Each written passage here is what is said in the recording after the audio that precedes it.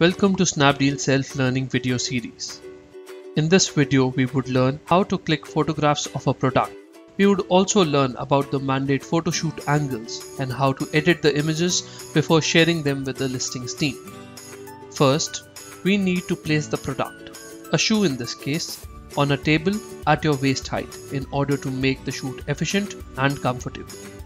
We would need to cover the table with a white chart paper or a piece of cloth. Ensure it is absolutely clean and stain free. The lighting should be ample in order to keep all the attributes of the product properly visible. Please ensure that you use white light only. We encourage use of a room with white walls so that the color tone of the product does not change. Also, we need to make sure the shoe is clean, does not look moldy, its tongue is pulled up, and the lace up looks sorted and the shoe stands stiff. Now, we shall discuss the various angles at which the product needs to be shot.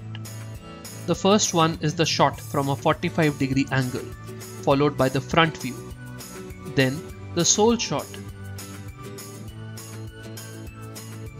and last comes the back shot.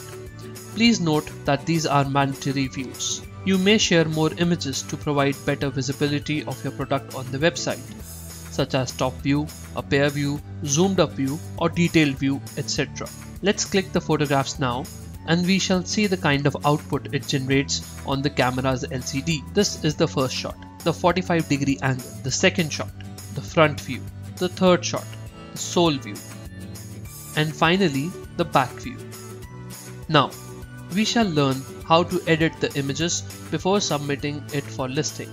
This is an important activity to give a presentable look to the images. We need to use Adobe Photoshop of version CS3 or above. Go to the File menu and click on Open. Choose the file that needs to be edited and click on Open again. Go to the Tools menu towards the left hand side of the screen and select the Crop tool. Add image dimensions as 850 pixels into 995 pixels. Resolution as 72. Select the product and press enter. Now go to the tools menu and select pen to start selecting the desired portion of the image for further processing. Once the selection is made, hold Alt and Control keys together and then press enter. Select the background color as white and fill it up. Use the Control plus backspace keys together to do so. Now go to the view menu and click on new guide. Select the option of horizontal and position as 780. Now click OK. Press Ctrl plus A to make a selection and Ctrl plus T to move the image appropriately.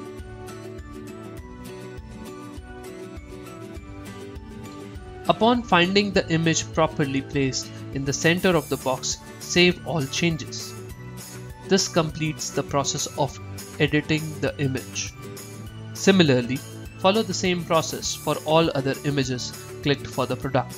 This is how the final output should look like. Remember, presentable images are the key to effective product listing and it directly impacts the kind of sales you receive. Please remember to subscribe to our channel to stay updated with new videos from Snapdeal. Thanks for watching and happy selling.